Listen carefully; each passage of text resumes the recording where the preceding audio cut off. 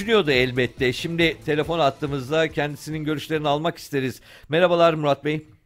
Merhabalar, nasılsınız? Teşekkür ederim. Sağ olun. Siz pek iyi değilsiniz herhalde. Yo iyiyim, iyiyim. İyi misiniz? Merak etmeyin. Biraz bir- biraz daha iyisiniz anlaşılan. Ya bu- buna sürgün dediniz. Sizin şimdi tabii teamüller gereği biz dinleyenlere de anlatırsanız neden sürgün olduğunu da biz dinleyenler anlayabilirler. Kalmanız mı gerekiyordu bulunduğunuz yerde? E, bu sürpriz bir şey mi oldu? Nedir durum? Çok teşekkür ederim, çok sağ olun ilginiz Buyursun. için. Ee, şu anlamda sürgün, e, bulunduğum görev yer- yeri benim beşinci görev yerim ve buradaki görev sürem e, belirli bir süreye tabi değil. Yani burada mesleğimin sonuna kadar kalmam gerekiyor normal teamüllerde. İzmir değil mi? Evet, Karşıyaka. Ee, ve bir tayin talebim de yok. Ee, istek dışı bir tayin. Bu nedenle e, bilinen anlamıyla sürgün, o anlamda sürgün. Ya belli ki birileri orada bulunmanızdan rahatsız olmuşlar. İzmir'de değil de Trabzon'da yaşasın demişler. Sizin aile hayatınızı biraz e, hani etkilemek midir burada amaç? Çünkü Trabzon'da e, sonuçta işte Karadeniz'de büyük bir şehir değil mi? Şöyle tabii bunu böyle değerlendirelim. Tabii bugün bazı bazı meslektaşlar, vatandaşlar e, bir bu sözümü de yanlış anlamışlar. Elbette ki Trabzon kötü bir şehir değil, gayet güzel bir şehir. Daha önceden de gidip geldiğim bildiğim bir yer.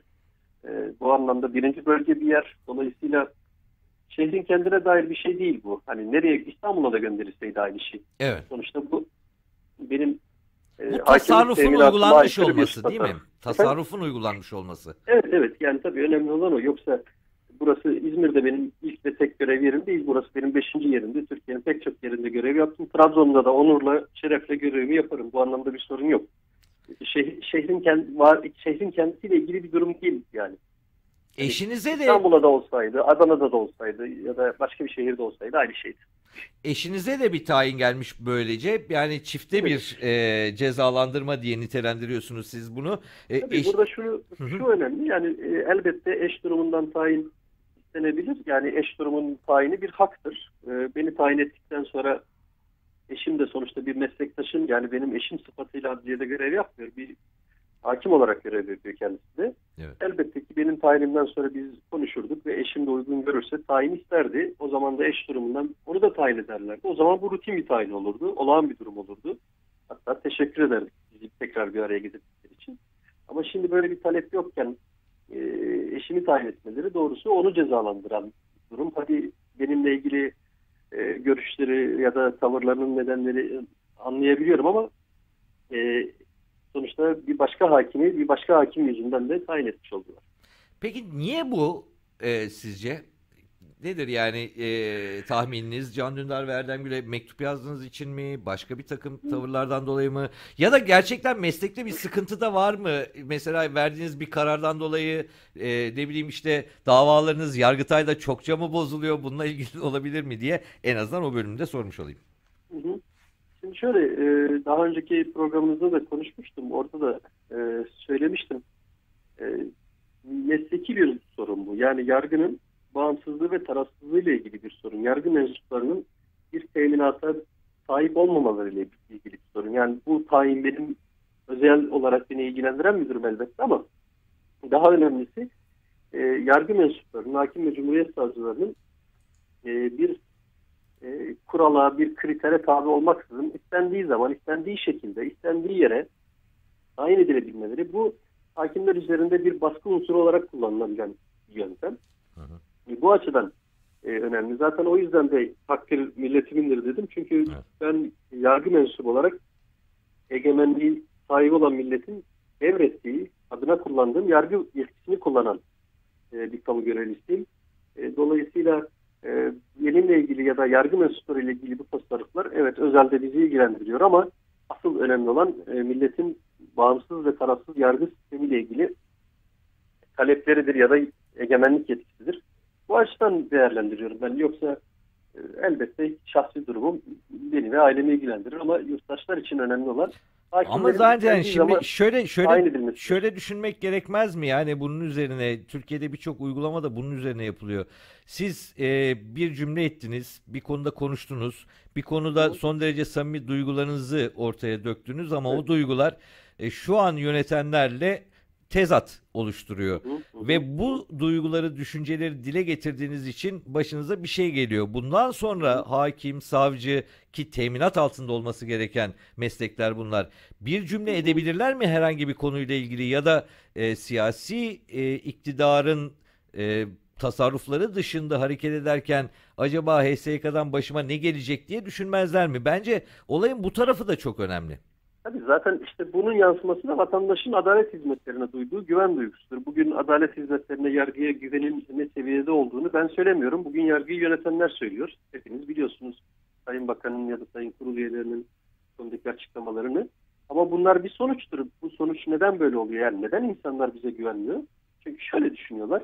e, Böyle bir durumda hakim başka karar veremez. Çünkü karar verirse kendisi başına bir iş gelir. Zaten hep anlatmaya çalıştığım bu yargı mensuplarına sahip çıkmak, yargı mensuplarının yalnızlığı duygusu aslında yurttaşların adalete erişim konusundaki haklarını e, zedeleyen ya da e, yurttaşların daha adil bir sistem içerisinde sisteme sahip olmalarını engelleyen bir şey. E, bu yüzden önemli. Yani e, yargı mensuplarının teminatı aslında bizim kendi şahsımıza ilişkin bir teminat değildir. Yurttaşların teminatıdır. Biz bir karar verdiğimizde ya da bir düşünce açıkladığımızda başımıza ne gel ne gelir duygusuna kapılırsak e, bu vatandaşların yargılama makamlarına olan güven duygusunu sarsacaktır. Şu an olan o. Aradığı adalete ulaşmasını da güçleştirecek bir durumdur Evet, elbette. Yani dediğim gibi yani bu teminat ya da bu isyan ya da bu karşı çıkma ya da işte bu konudaki tavır e, evet bizi ilgilendiren özelde bizi ilgilendirir ama aslında yurttaşları ilgilendiren bir durumdur.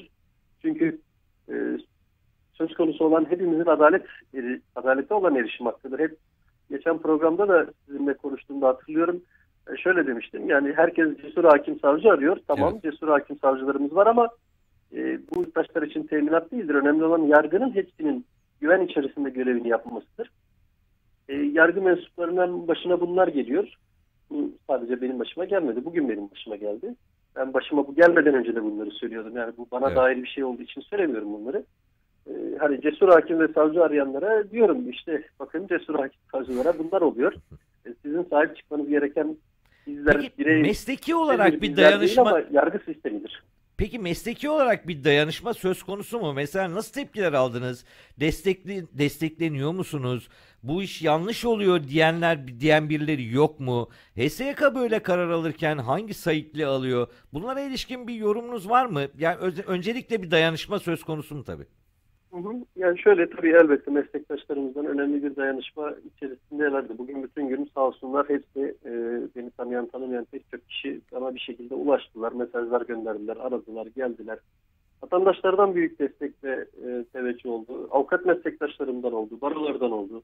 Hepsine ayrı ayrı teşekkür ederim. Yani bu e, bu duygu bu, bu duygudaşlık meslektaşlarımızın, yargının, e, hakimlerin, vatandaşların bu duygudaşlığı önemli ve kıymetli. Yani e, asıl önemli olan bence burası. Hı hı. E, ama tabii bunun bir sistem sorunu olduğunu bilmek gerekir. Bu alt bana dair bir şey değil.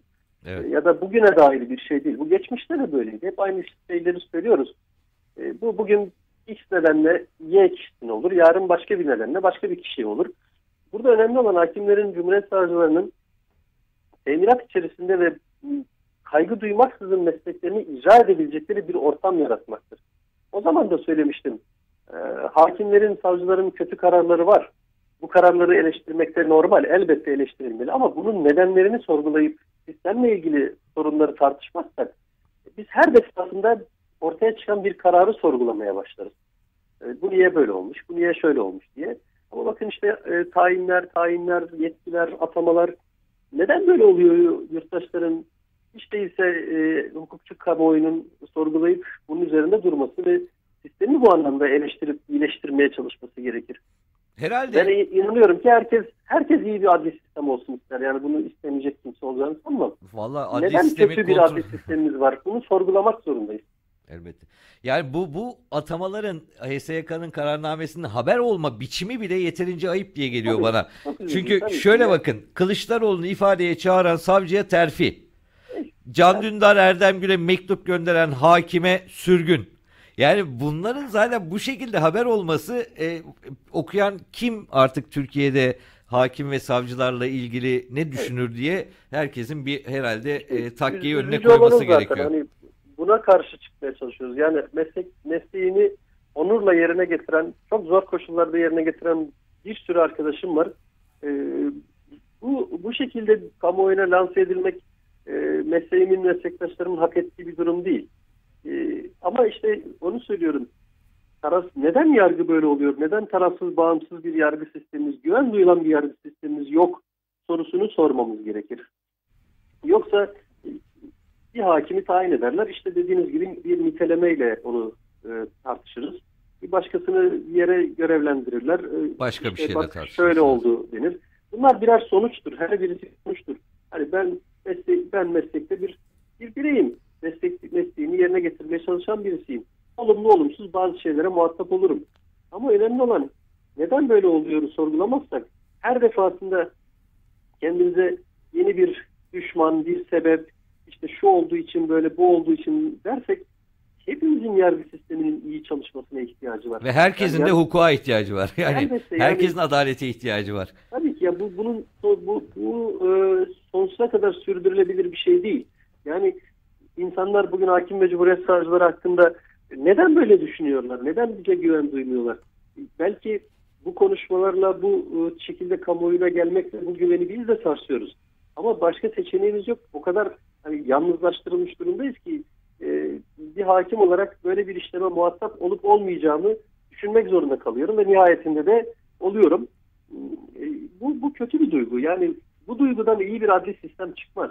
Hakim ve savcılar bu kadar. Bugün bugün görüştüğüm arkadaşlar e, hani üzüntü içerisinde ve kendileri açısından da kaygı içerisinde benimle konuştular. Hani salt e, bir üzüntü değil, salt kaygı. Çünkü sonuçta bu bizim işimiz ve bu işin iyi yapılmasını istiyoruz. Yani hepimiz bunun, bunun için uğraşıyoruz.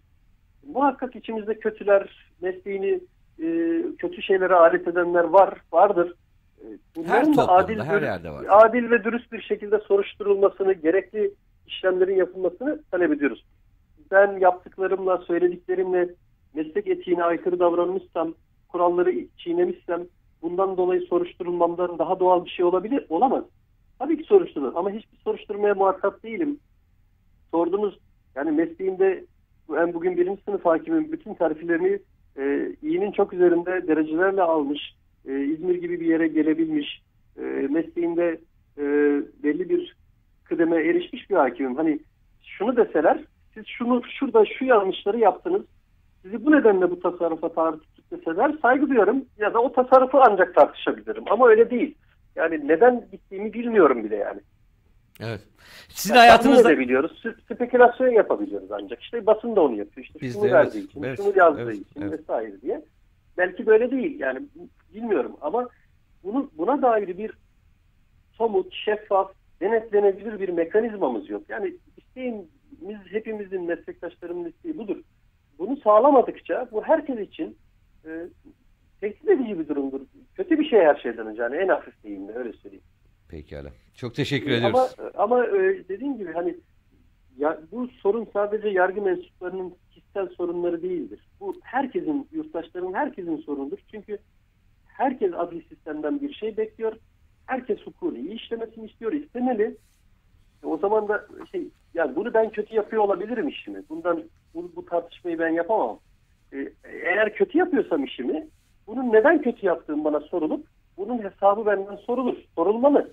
Elbette. Ama e, değilse de bu, bu tarz bir tasarrufa muhatap olmam. Ben durumumu, konumumu, mesleğime yaklaşımımı değiştirecek değilim bu tasarruflarla. Zaten e, amaç da bu değil. Amaç diğer meslektaşlara gözdağı vermek Evet. üzerine. Bakın böyle olur. Böyle yaparsanız böyle olur demektir. Üzücü olan bu. Tasarrufları yapanların hepsi benim meslektaşlarım. Hepsi benim e, bu mesleğin iyi yapılması için uğraştığına inandığım kişiler. Ama ortaya çıkan tablodan eminim onlar da memnun değil. Ki söylüyorlar yargının güven or- oranı şu oldu bu oldu diye rakamlar veriyorlar. Ama o zaman sormak isterim ben de. Neden böyle? Bunun sorumlusu kim?